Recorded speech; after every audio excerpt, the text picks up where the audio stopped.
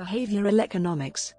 Behavioral economics studies the effects of psychological, cognitive, emotional, cultural and social factors on the decisions of individuals and institutions and how those decisions vary from those implied by classical economic theory. Behavioral economics is primarily concerned with the bounds of rationality of economic agents. Behavioral models typically integrate insights from psychology, neuroscience and microeconomic theory. The study of behavioral economics includes how market decisions are made and the mechanisms that drive public choice. The three prevalent themes in behavioral economics are In 2002, psychologist Daniel Kahneman was awarded the Nobel Memorial Prize in Economic Sciences for having integrated insights from psychological research into economic science, especially concerning human judgment and decision making under uncertainty. In 2013, Economist Robert J. Shiller received the Nobel Memorial Prize in Economic Sciences for his empirical analysis of asset prices within the field of behavioral finance. In 2017, economist Richard Thaler was awarded the Nobel Memorial Prize in Economic Sciences for his contributions to behavioral economics and his pioneering work in establishing that people are predictably irrational in ways that defy economic theory. History During the classical period of economics, microeconomics was closely linked to psychology. For example, Adam Smith wrote The Theory of Moral Sentiments, which proposed psychological explanations of individual behavior, including concerns about fairness and justice. Jeremy Bentham wrote extensively on the psychological underpinnings of utility. Then, during the development of neoclassical economics, economists sought to reshape the discipline as a natural science, deducing behavior from assumptions about the nature of economic agents.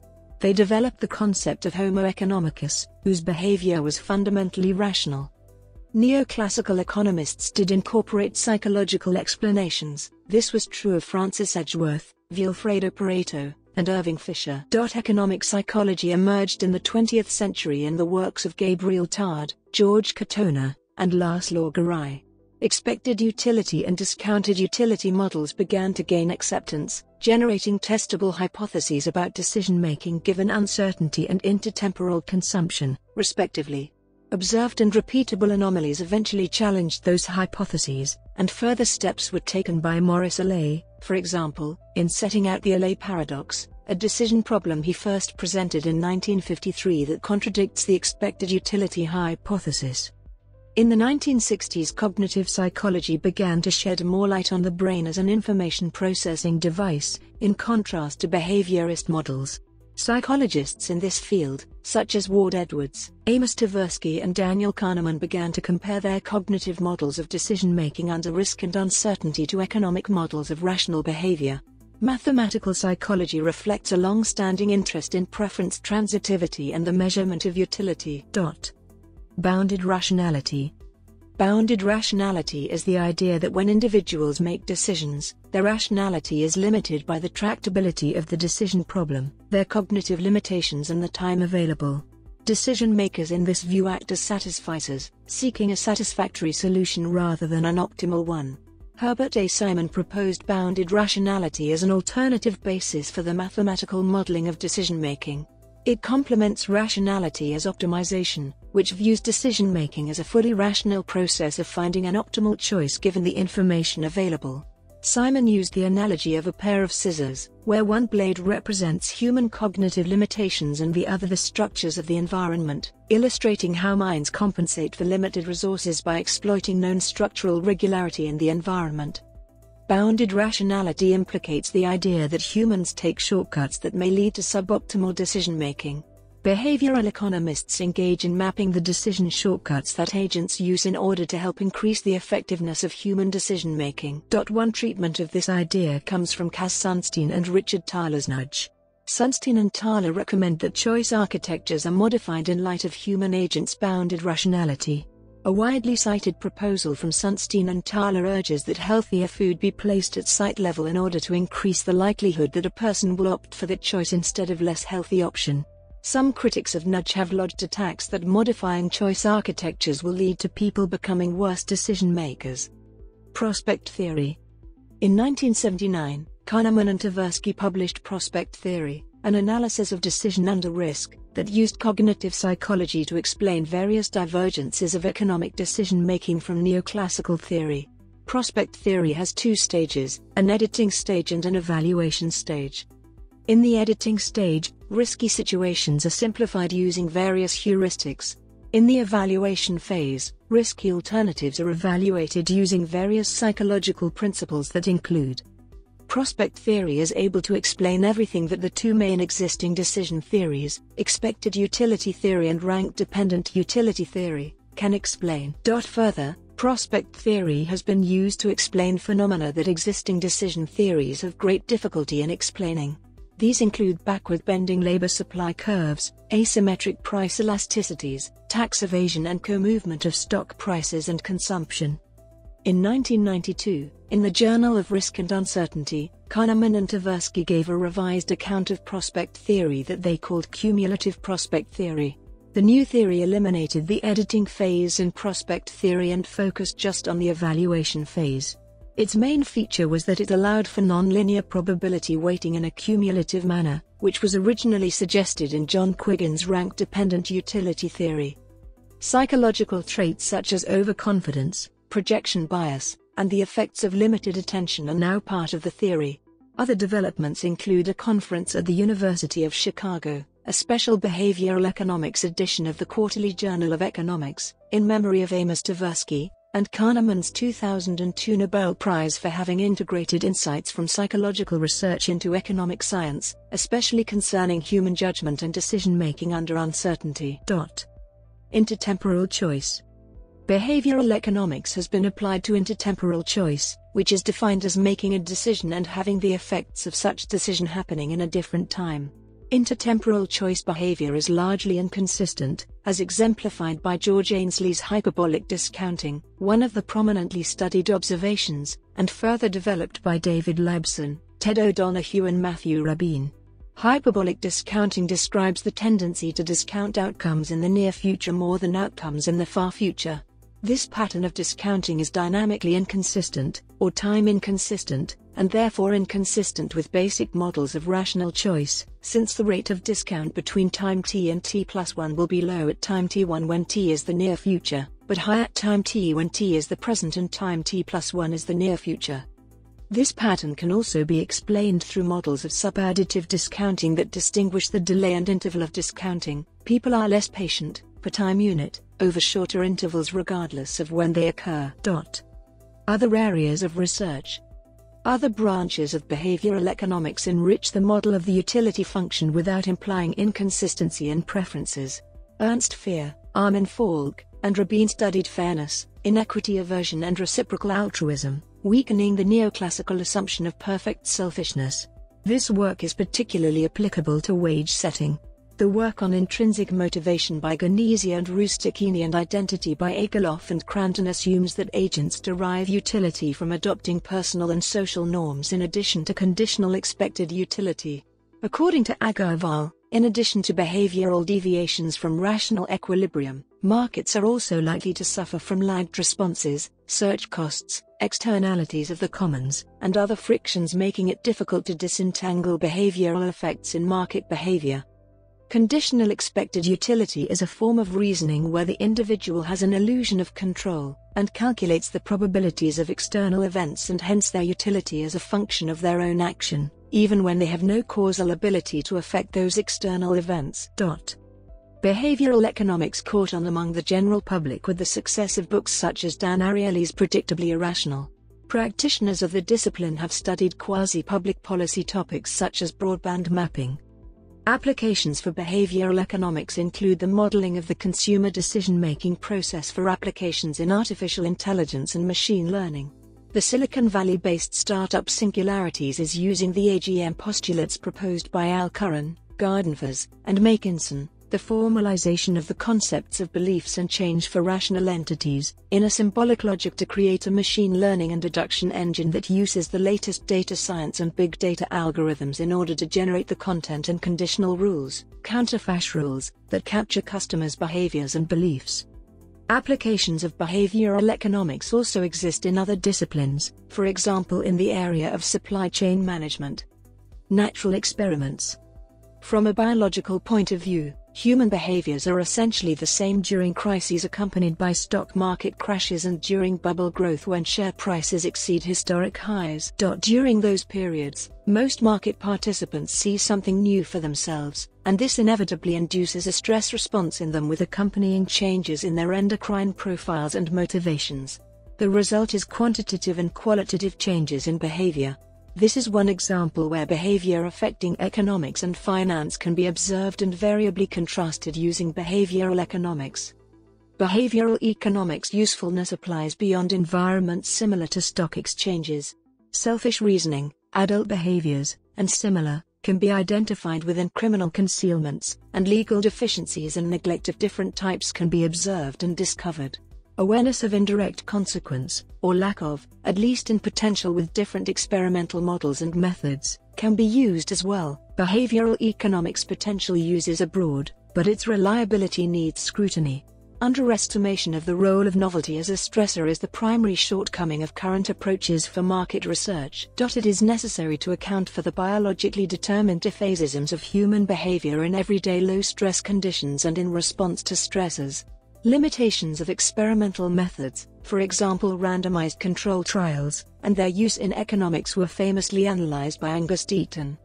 Criticism Critics of behavioral economics typically stress the rationality of economic agents. A fundamental critique is provided by Mailer, 2019, who argues that no behavioral research can establish an economic theory. Examples provided on this account include pillars of behavioral economics such as satisficing behavior or prospect theory, which are confronted from the neoclassical perspective of utility maximization and expected utility theory respectively. The author shows that behavioral findings are hardly generalizable and that they do not disprove typical mainstream axioms related to rational behavior.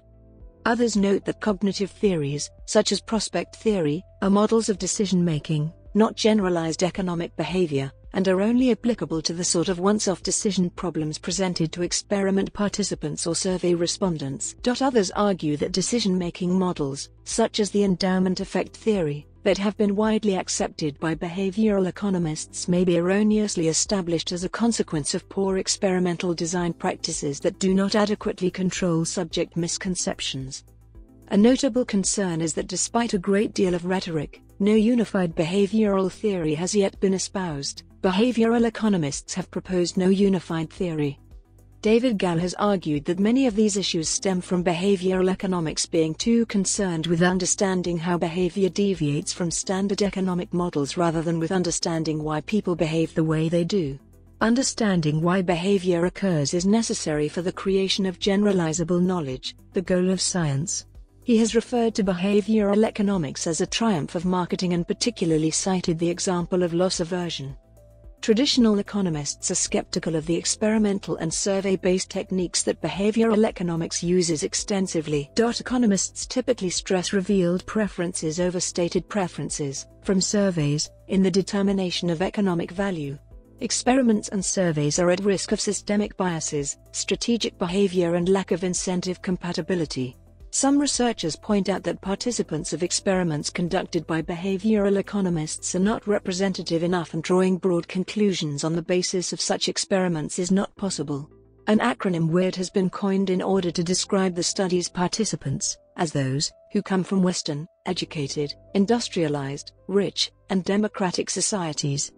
Responses Matthew Rabin dismisses these criticisms, countering that consistent results typically are obtained in multiple situations and geographies and can produce good theoretical insight. Behavioral economists, however, responded to these criticisms by focusing on field studies rather than lab experiments. Some economists see a fundamental schism between experimental economics and behavioral economics, but prominent behavioral and experimental economists tend to share techniques and approaches in answering common questions. For example, behavioral economists are investigating neuroeconomics, which is entirely experimental and has not been verified in the field. The epistemological, ontological, and methodological components of behavioral economics are increasingly debated, in particular by historians of economics and economic methodologists. According to some researchers, when studying the mechanisms that form the basis of decision making, especially financial decision making, it is necessary to recognize that most decisions are made under stress because stress is the non-specific body response to any demands presented to it. Applied issues. Nudge theory. Nudge is a concept in behavioral science, political theory and economics which proposes positive reinforcement and indirect suggestions as ways to influence the behavior and decision-making of groups or individuals. Nudging contrasts with other ways to achieve compliance, such as education, legislation or enforcement. The concept has influenced British and American politicians. Several nudge units exist around the world at the national level, UK, Germany, Japan and others, as well as at the international level, OECD, World Bank, UN. The first formulation of the term and associated principles was developed in cybernetics by James Wilk before 1995 and described by Brunel University academic DJ Stewart as the art of the nudge, sometimes referred to as micro-nudges. It also drew on methodological influences from clinical psychotherapy tracing back to Gregory Bateson, including contributions from Milton Erickson, Watzlawick, Weakland, and Fisch, and Bill O'Hanlon. In this variant, the nudge is a micro-targeted design geared towards a specific group of people, irrespective of the scale of intended intervention. In 2008, Richard Thaler and Cass Sunstein's book Nudge, Improving Decisions About Health, Wealth, and Happiness brought nudge theory to prominence. It also gained a following among US and UK politicians, in the private sector and in public health. The authors refer to influencing behavior without coercion as libertarian paternalism and the influencers as choice architects. Thaler and Sunstein define their concept as In this form, drawing on behavioral economics, the nudge is more generally applied to influence behavior. One of the most frequently cited examples of a nudge is the etching of the image of a housefly into the men's room urinals at Amsterdam's Schiphol Airport, which is intended to improve the aim.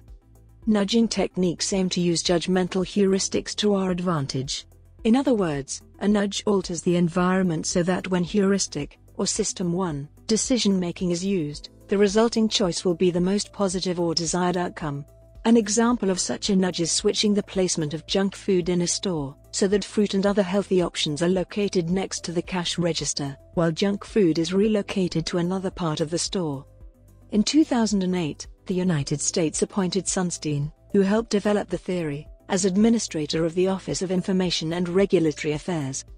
Notable applications of nudge theory include the formation of the British Behavioural Insights Team in 2010. It is often called the Nudge Unit, at the British Cabinet Office, headed by David Halpern. Both Prime Minister David Cameron and President Barack Obama sought to employ nudge theory to advance domestic policy goals during their terms. In Australia, the Government of New South Wales established a behavioural insights community of practice. Nudge theory has also been applied to business management and corporate culture, such as in relation to health, safety and environment, HSE, and human resources. Regarding its application to HSE, one of the primary goals of Nudge is to achieve a zero accident culture. Leading Silicon Valley companies are forerunners in applying nudge theory in a corporate setting. These companies are using nudges in various forms to increase the productivity and happiness of employees. Recently, further companies are gaining interest in using what is called nudge management to improve the productivity of their white collar workers. Behavioral insights and nudges are currently used in many countries around the world. Criticisms Nudging has also been criticized. Tammy Boyce, from Public Health Foundation The King's Fund, has said, We need to move away from short term, politically motivated initiatives such as the nudging people idea, which is not based on any good evidence and doesn't help people make long-term behavior changes.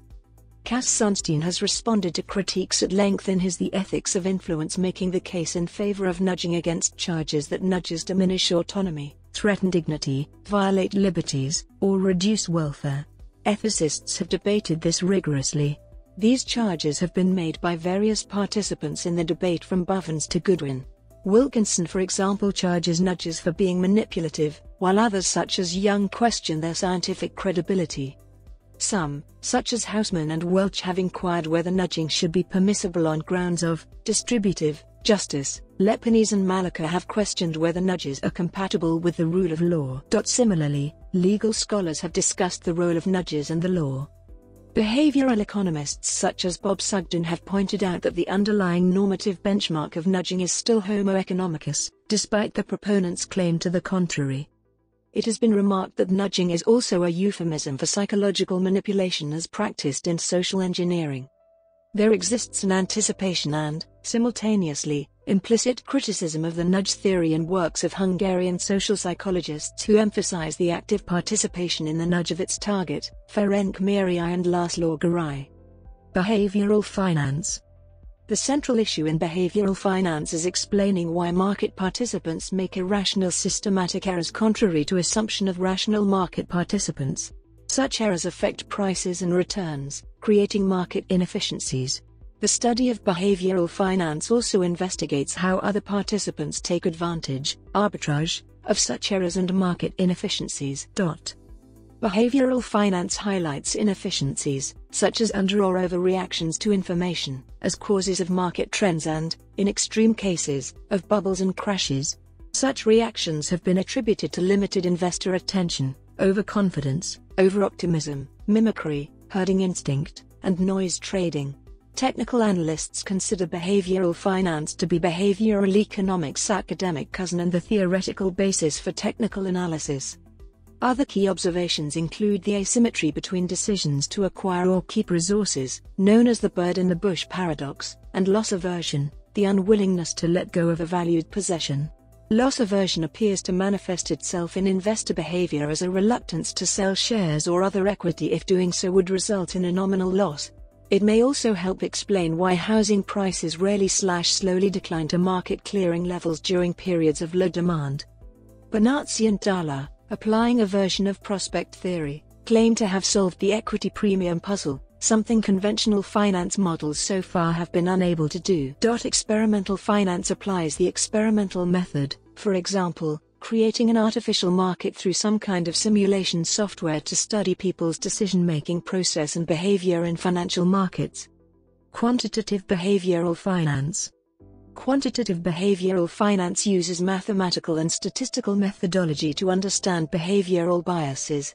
In marketing research, a study shows little evidence that escalating biases impact marketing decisions. Leading contributors include Gunduz Caginalp, editor of the Journal of Behavioral Finance from 2001-04, and collaborators include 2002 Nobel laureate Vernon Smith, David Porter, Don Balenovich, Vladimira Aleva, and Ahmet Duran, and Ray Sturm. Financial models Some financial models used in money management and asset valuation incorporate behavioral finance parameters. Examples Criticisms Critics such as Eugene Fama typically support the efficient market hypothesis. They contend that behavioral finance is more a collection of anomalies than a true branch of finance and that these anomalies are either quickly priced out of the market or explained by appealing to market microstructure arguments. However, individual cognitive biases are distinct from social biases. The former can be averaged out by the market, while the other can create positive feedback loops that drive the market further and further from a fair price equilibrium. Similarly, for an anomaly to violate market efficiency, an investor must be able to trade against it and earn abnormal profits. This is not the case for many anomalies. A specific example of this criticism appears in some explanations of the equity premium puzzle. It is argued that the cause is entry barriers, both practical and psychological, and that the equity premium should reduce as electronic resources open up the stock market to more traders. In response, others contend that most personal investment funds are managed through superannuation funds, minimizing the effect of these putative entry barriers. In addition, professional investors and fund managers seem to hold more bonds than one would expect given return differentials. Behavioral Game Theory Behavioral game theory, invented by Colin Camerer, analyzes interactive strategic decisions and behavior using the methods of game theory, experimental economics, and experimental psychology. Experiments include testing deviations from typical simplifications of economic theory such as the independence axiom and neglect of altruism, fairness, and framing effects. On the positive side, the method has been applied to interactive learning and social preferences. As a research program, the subject is a development of the last three decades. Economic reasoning in animals. A handful of comparative psychologists have attempted to demonstrate quasi-economic reasoning in non-human animals. Early attempts along these lines focus on the behavior of rats and pigeons. These studies draw on the tenets of comparative psychology, where the main goal is to discover analogues to human behavior in experimentally tractable non-human animals. They are also methodologically similar to the work of Ferster and Skinner. Methodological similarities aside, early researchers in non-human economics deviate from behaviorism in their terminology. Although such studies are set up primarily in an operant conditioning chamber using food rewards for pecking slash bar pressing behavior, the researchers describe pecking and bar pressing not in terms of reinforcement and stimulus response relationships but instead in terms of work, demand, budget, and labor. Recent studies have adopted a slightly different approach, taking a more evolutionary perspective, comparing economic behavior of humans to a species of non-human primate, the capuchin monkey. Animal studies Many early studies of non-human economic reasoning were performed on rats and pigeons in an operant conditioning chamber. These studies looked at things like peck rate, in the case of the pigeon, and bar pressing rate, in the case of the rat, given certain conditions of reward. Early researchers claim, for example, that response pattern, pecking slash bar pressing rate, is an appropriate analogy to human labor supply. Researchers in this field advocate for the appropriateness of using animal economic behavior to understand the elementary components of human economic behavior. In a paper by Battalio, Green, and Kagel, they write Labor supply, the typical laboratory environment to study labor supply in pigeons is set up as follows. Pigeons are first deprived of food. Since the animals become hungry, food becomes highly desired. The pigeons are then placed in an operant conditioning chamber and through orienting and exploring the environment of the chamber they discover that by pecking a small disc located on one side of the chamber, food is delivered to them. In effect, pecking behavior becomes reinforced, as it is associated with food. Before long, the pigeon pecks at the disc, or stimulus, regularly. In this circumstance, the pigeon is said to work for the food by pecking. The food, then, is thought of as the currency. The value of the currency can be adjusted in several ways, including the amount of food delivered, the rate of food delivery and the type of food delivered. Some foods are more desirable than others, Economic behavior similar to that observed in humans is discovered when the hungry pigeons stop working slash work less when the reward is reduced. Researchers argue that this is similar to labor supply behavior in humans. That is, like humans, who, even in need, will only work so much for a given wage, the pigeons demonstrate decreases in pecking, work, when the reward, value, is reduced. Demand. In human economics, a typical demand curve has negative slope. This means that as the price of a certain good increase, the amount that consumers are willing and able to purchase decreases. Researchers studying the demand curves of non-human animals, such as rats, also find downward slopes. Researchers have studied demand in rats in a manner distinct from studying labor supply in pigeons. Specifically, in an operant conditioning chamber containing rats as experimental subjects, we require them to press a bar, instead of pecking a small disc, to receive a reward. The reward can be food, reward pellets, water, or a commodity drink such as cherry cola. Unlike in previous pigeon studies, where the work analog was pecking and the monetary analog was a reward, the work analog in this experiment is bar pressing. Under these circumstances, the researchers claim that changing the number of bar presses required to obtain a commodity item is analogous to changing the price of a commodity item in human economics. In effect, results of demand studies in non-human animals show that, as the bar pressing requirement, cost, increase, the number of times an animal presses the bar equal to or greater than the bar pressing requirement, payment, decreases. Behavioral psychology, also known as cognitive psychology, evolutionary psychology, an evolutionary psychology perspective states that many of the perceived limitations in rational choice can be explained as being rational in the context of maximizing biological fitness in the ancestral environment, but not necessarily in the current one. Thus, when living at subsistence level where a reduction of resources may result in death, it may have been rational to place a greater value on preventing losses than on obtaining gains. It may also explain behavioral differences between groups, such as males being less risk averse than females since males have more variable reproductive success than females. While unsuccessful risk seeking may limit reproductive success for both sexes, males may potentially increase their reproductive success from successful risk seeking much more than females can. Artificial intelligence much of the decisions are more and more made either by human beings with the assistance of artificial intelligent machines or wholly made by these machines. Tshilidzi Marwala and Evan Hurwitz in their book, study the utility of behavioral economics in such situations and concluded that these intelligent machines reduce the impact of bounded rational decision-making. In particular, they observed that these intelligent machines reduce the degree of information asymmetry in the market, improve decision-making and thus making markets more rational. The use of AI machines in the market in applications such as online trading and decision making has changed major economic theories.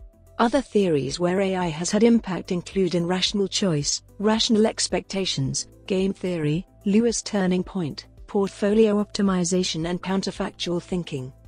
Related fields Experimental economics Experimental economics is the application of experimental methods, including statistical, econometric, and computational, to study economic questions. Data collected in experiments are used to estimate effect size, test the validity of economic theories, and illuminate market mechanisms.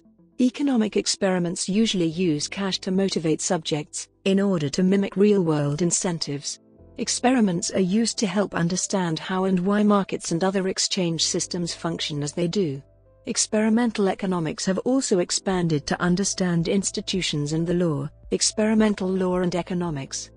A fundamental aspect of the subject is design of experiments. Experiments may be conducted in the field or in laboratory settings, whether of individual or group behavior. Variants of the subject outside such formal confines include natural and quasi-natural experiments.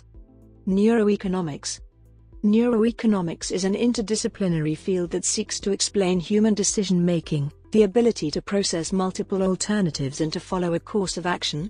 It studies how economic behavior can shape our understanding of the brain, and how neuroscientific discoveries can constrain and guide models of economics. It combines research methods from neuroscience, experimental and behavioral economics, and cognitive and social psychology. As research into decision-making behavior becomes increasingly computational, it has also incorporated new approaches from theoretical biology, computer science, and mathematics.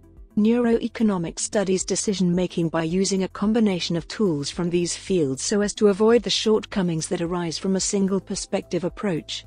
In mainstream economics, expected utility, EU, and the concept of rational agents are still being used.